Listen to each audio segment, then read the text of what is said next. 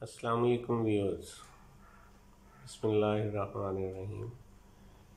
آج کی یہ ویڈیو ایک انتہائی اہم موضوع پر ہے، جس میں ان نوزائیدہ بچوں کے علاج کی بات ہوگی، جن کی مائیں کووڈ نائنٹین پازیٹیو تھیں یعنی کرونا وائرس کی بیماری میں مبتلا تھیں۔ پہلے میں کچھ ٹرمز کی وضاحت کر دوں جو بار بار ویڈیو میں آپ سنیں گے۔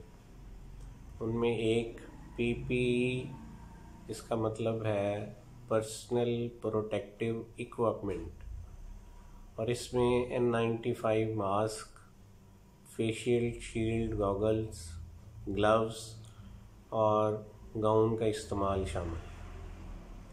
دوسری ہے ڈراپلیٹ اینڈ کانٹیکٹ پریکاشنز۔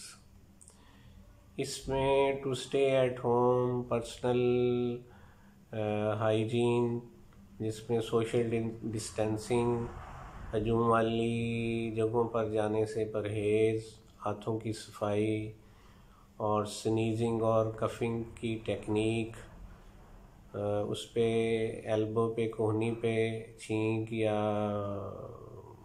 کف کرتے ہوئے استعمال کریں اور پی پی کا استعمال یہ شامل ہے۔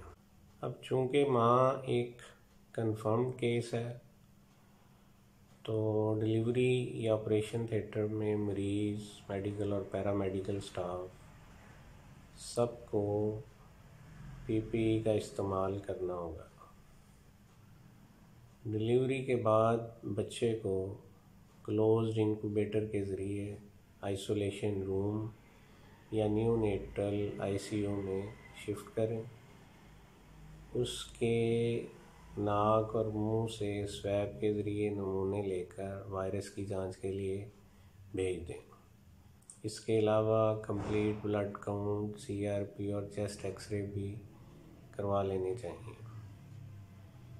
بچے کے وائٹلز مانیٹر ہوتے رہیں۔ اب چونکہ ماں کے دودھ میں وائرس کی ایکسکریشن ابھی ثابت نہیں ہوئی، تو اے سیپٹک ٹیکنیکس کے ذریعے ماں کا دودھ ایکسٹریکٹ کر کے باٹل یا چمچ کے ذریعے پلایا جا سکتا ہے یا ٹن ملک دیا جا سکتا ہے۔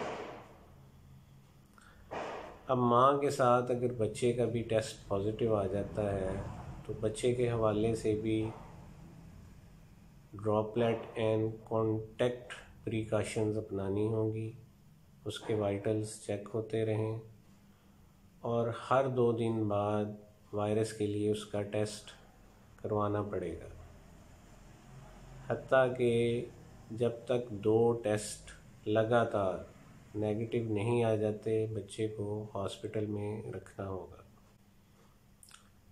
اب اگر بچے کا ٹیسٹ نیگیٹو آ جاتا ہے، تو اسے ہاسپٹل یا گھر آئسولیشن میں شفٹ کیا جا سکتا ہے، لیکن چودہ دن بعد اس کا دوبارہ ٹیسٹ کروائیں گے اور اگر وہ نیگیٹو آ جاتا ہے تو پھر روٹین کی جنرل کیئر کرنی ہوگی۔